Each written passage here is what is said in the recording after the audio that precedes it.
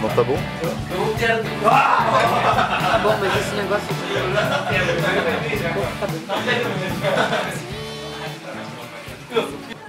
A gente está na cidadezinha de Takayama, que fica no centro, nas montanhas.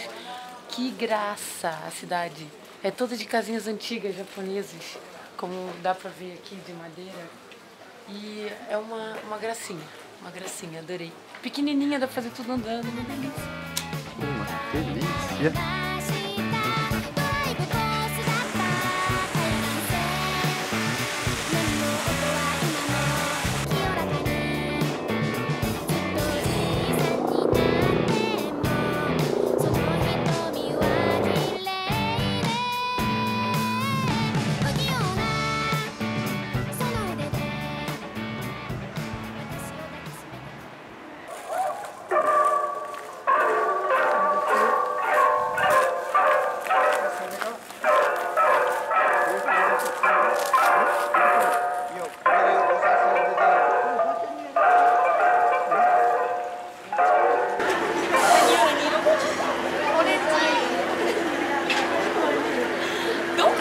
両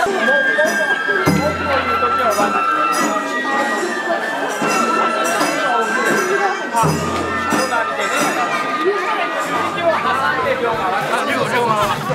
両回ら。両。ら。